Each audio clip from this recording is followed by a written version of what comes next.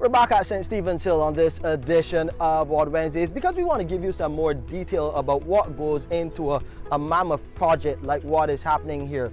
We got the pumping station, a lot of work is being done on expanding that.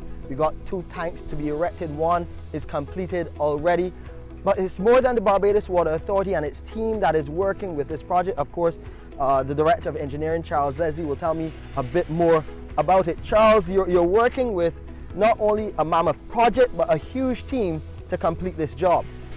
Yes, Shane. Um, on this project, because of the size of it, the Barbados Water Authority um, is working along with approximately there are about six or seven contractors working on this project. Right. Um, you have the en engineering team. You have you're going to have the the, the civil works con contractor. Um, we have um, two two companies working on the pipeline. This Right. is on the second largest pipeline that we have on the island is a 20 inch diameter. Mhm. Is approximately 1500, just over 1500 meters between St. Stephen's and Lodge Hill. Um, so we needed to get assistance to be able to, to execute a project of this, this magnitude. Talk about the coordination that goes into that because you still have a timeline to consider. You want to complete it in the shortest possible time so that you, our valued customers, can get that service that you deserve and that you're paying for. Talk about the coordination in that regard. Yes, we had to do quite a bit of coordination on this. Um, obviously, when we first started, we had to um, redesign the pipe layout on the site to be able to accommodate the infrastructure that's going on now. So we had to do that. We had to be mindful of the school because when we first started, the school was still in, in um, you know, they were still having classes and, and so forth.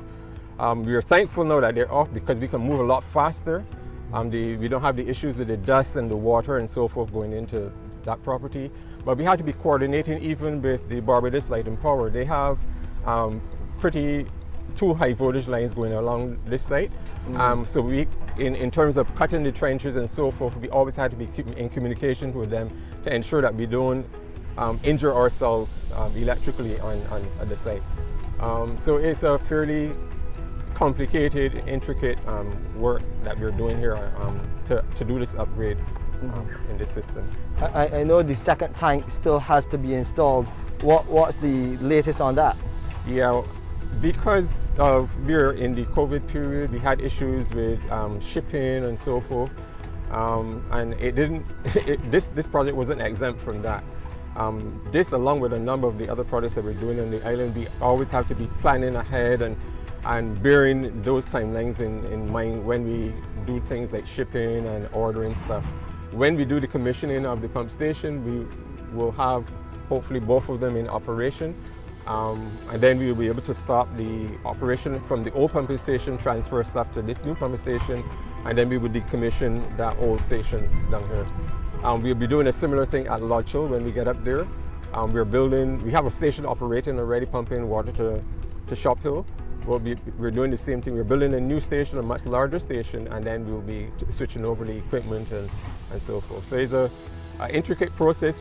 Um, when you're doing all of this work, you're trying all of the time not to affect your customers. So the customers are still getting the water. Um, and, and once we finish this now, um, we do that transition without affecting them.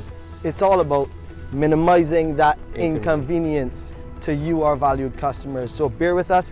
We'll get this project completed in short order as soon as possible. And of course, we'll continue to update you, especially those of you residents living in this St. Stephen's area, because yes, you might have seen some additional dust. It all comes with the construction and what we're doing here is making progress. Of course, thank you, Charles, and your team you. for the great work you're doing here. To view this or a previous episode again, please visit our website, www.barbadoswaterauthority.com. Go to our Facebook or Instagram pages. You will see some of the action from this site and loads of content that we have there.